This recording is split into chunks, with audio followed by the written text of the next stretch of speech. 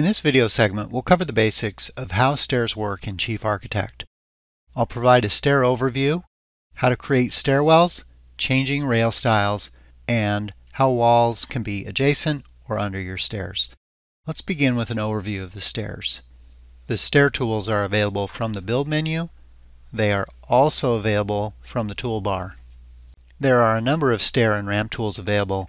I'm going to begin at the top with the Draw Stairs. The Draw Stair tool allows you to be very precise and draw out a certain number of treads. As you click and drag and then end the drawing, you can see that I've only created about a half a dozen treads. The Straight Stair tool allows you to click and place, and generally this will span the two platforms. There's a curved left and a curved right stair, which will place curved stairs. With your straight stairs, you can hold the Alt key down, click on the stair, and you can actually curve stairs after they are already placed.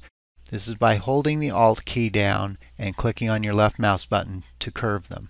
There is an L-shaped stair, and when you open up the L and U-shaped stairs, the program will ask you which direction you would like to draw these, and also if you want to make winders and what the gap is.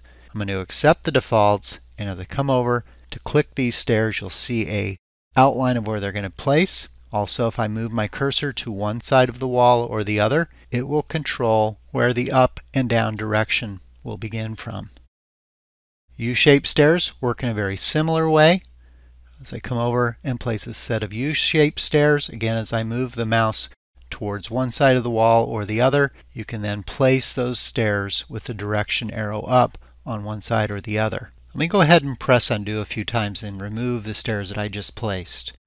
Let's look at the process of placing stairs in the living area up to the second floor, stairs in the garage that would go up to the living area, and also exterior stairs from the terrain up to the deck. Using the straight stair tool, I'm going to click inside the room to generate the stairs. One of the options that stairs have is to make sure that they span the platforms. Typically when you use this tool, it will automatically span the platforms based on your ceiling height if you would have used the draw stair tool, and let's say that you only drew a handful of treads in here, you can double click on the stairs and on the general panel, if your stairs don't meet the next level, there's an option to say make best fit. At that point, the stairs will go back and span the two platforms. Let me rotate the stairs using the rotation handle then I'm going to go ahead and bump these to the upper wall. And then let's go over into the 3D view that I already have open by clicking on the tab. And let's go ahead and rotate around just a little bit and take a look at the stairs. So there's a few options with your stairs and I want to go back through the stair dialog panel and let's take a look at what options we have. So I'm going to double click on the stairs. On the general panel, notice that the make best fit is now grayed out because it does span the platforms. You can see this at the top message here, staircase reaches the next level. In the area called advanced options, currently the treads are automatic. If I select lock tread depth, this allows you to come in here and type in the tread depth or the number of treads. If I remove the automatic heights, you can adjust the bottom height, the top height, and the riser height. There is the option to lock either the top or the bottom so that the stairs will pivot around either of those two points.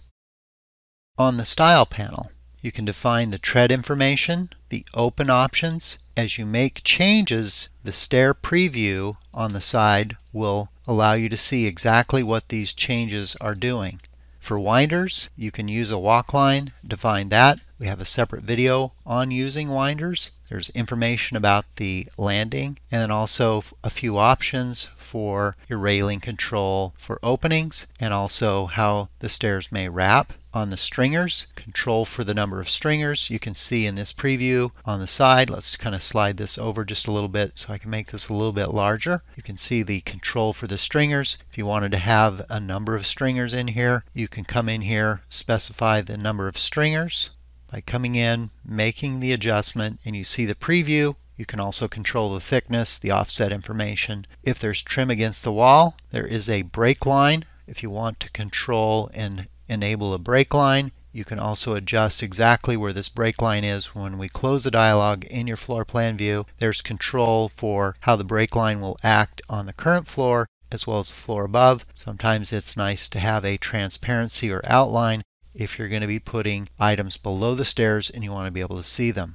On the railing panel, you can control the height of the railing as well as the landing height. I don't currently have a landing on here, but you can control it right in here. If there is a railing on the left or right or railing on the wall, notice that in my default set of stairs, there is no railing on the wall. You can toggle that on to preview how the railing would look on the wall. There's information for your transitions.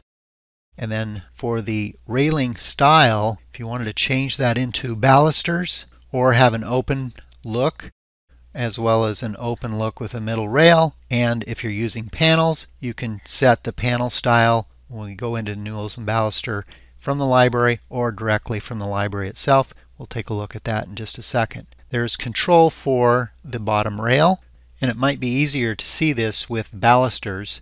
You can turn on and off the top rail. You can include or exclude a bottom rail and then there's the option to raise the bottom rail a specified amount. If you're using brackets, there's an option to have brackets on here. Under the newels and Balusters panel, you can control what style of newel that you're going to use. There's a library option. Same for the balusters. There's a library option where you can browse out and find the balusters. When you're using panels, as we were using previously, you can browse out to the library. I'll also show you how to do that in 3D. And then if you want to draw the newels and balusters in a floor plan view, you can do this as well. Currently the default template plan is using the defaults where it is not drawing those, but you can easily turn those on and control how you're doing that. A lot of times when I do this, since it's a top-down view, I will set the transparency to something like 50%. You can see here that we have that set. So when you're looking at it top down, you can see through that top rail. On the rails panel, you can control the profile for each one of the rails for the top, middle rail, and the bottom rail. There's an option to replace this from the library. I'm just using a simple rectangular profile in here.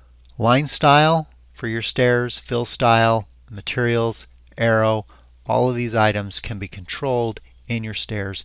And if you want to learn more about these items, just see the help file down here in the corner. Let me go ahead and press OK and accept all of these changes. With stairs, you can create an automatic stairwell. Currently on floor 1, currently I'm on floor 1. If I move up on the floor indicator to floor 2, you can see the stair railing poking through the floor platform. You can select the stairs in this view and then in the bottom edit menu is the option to create an automatic stairwell. This will only appear if you have not yet created this automatic stairwell. When you use this tool, the program will create railings on the second floor and it will name that room an open to below room. An open to below room has no platform in it. Let's move back over into the 2D view and let's take a look. And again, I'm going to move up to the second floor on this second floor, you can see the railing information has been created and the room type by clicking inside of the area and then using the open button you can see the room type is open to below and the program named the room to be a stairwell. Let me move back down to the first floor. Let's look at a few more options with the stair tools. The break line that was put on the stairs, you can click on this and you can move this break line. Just move your mouse over the line and you can adjust exactly where that break line may be located. While the stairs are selected, there are a few other options. If you look in the lower edit menu, the first one is to remove the stair break. Next to this is the option to create a stair flare. When you click this tool, you can then move your mouse over the corner of the stair and then you can pull this out to create a set of flared stairs. There's also a starter tread that you can use to create starter treads. You can simply pull these out just a little bit or depending on what your desire is and create a starter tread for your stairs. Let's go back over into our 3D view and take a look at the stairs. Let's move on and talk briefly about walls that may go under stairs or adjacent to your stairs. I'm going to press undo a couple of times to remove the flare and the starter treads. To place a wall underneath your stairs, you can do this visually without any structure. I'm going to do that inside of the stair dialog by double clicking on the stairs. On the style panel in the stairs, the first thing I'm going to do is I'm going to remove the option for open risers. Then there's an option to have them open underneath and in the preview panel you can see very quickly that it has enclosed those stairs in a 3D view it will look pretty nice. You may need to take and draw a wall at the very end where it's open Let's take a look at how to maybe use walls and place them underneath or adjacent to your stairs. I'm going to go ahead and remove the option to be open underneath and then I'm going to tile my views so you can see both the 2D view and the 3D view simultaneously. Over in the floor plan view with the wall tool I'm going to use an interior wall tool. I'm just going to come in and draw right underneath the stairs. When a wall is underneath the stairs, it will cut it. The stairs will automatically cut it. When you want to select the wall, you may click where the wall is. You may have to press the tab key to actually get it. And then you can use your arrow keys and bump this out until it's positioned about where you want. And then as it reaches the outside of the stair, it will then form a stairwell. In this example, there are stairs with a partial exposed railing a stair rake wall railing, walls under the stairs with an exposed railing, and then the enclosed staircase that we just created. You can learn more about this process for your walls in a separate video.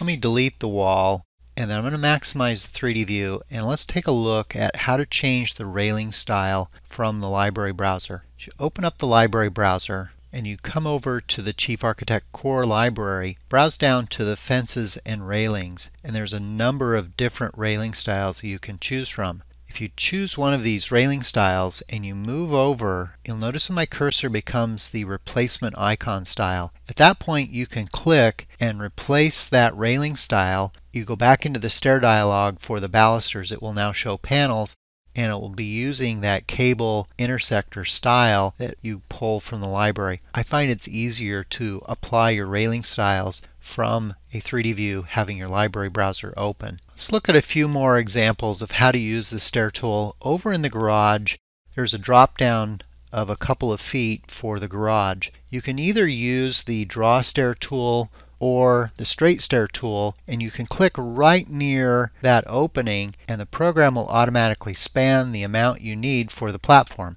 These stairs can then be further modified if you want to just kind of pull these over toward the wall and position those stairs. The exact same thing is true if I rotate around on the other side and I want a set of stairs that will go from the terrain up to the deck. You can grab the stairs Click very near the edge and the stairs will place. Again, it will span the platform for you.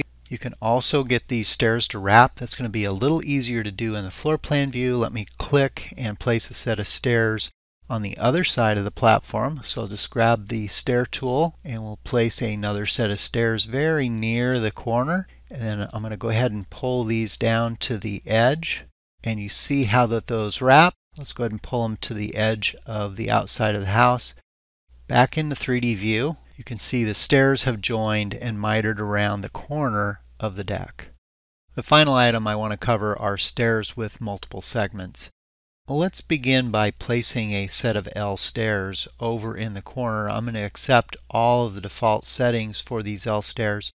Again, as I move towards one wall, it will control which direction these stairs are going up. And then when I press the space bar, click back on the stairs, and you look quite closely, there's a number 1 and then a number 2 on the stair segments. And if I double click to open up these stairs, down below the advanced option is the section information. When I opened up the stairs I was on section 1. You can see the information for this. If I lock the tread depth and I want to change these stairs from being symmetrical, U and L-shaped stairs come in symmetrical, I might come in here and reduce the treads by 2 and increase the treads. In making that change, I did remove one entire tread. At the top, the information says that the staircase is steep. It does reach. you can use the make best fit and it will adjust it based on what it thinks is a good fit. Notice the make best fit did increase section number 1 by an additional tread. Now I still have a total of 18 treads. You can always uncheck this and come in here and make the adjustments. If you do this, be very careful that your riser height does match between the two different sections of stairs. The stairs will then need to be moved slightly based on that adjustment and rebumped to the wall.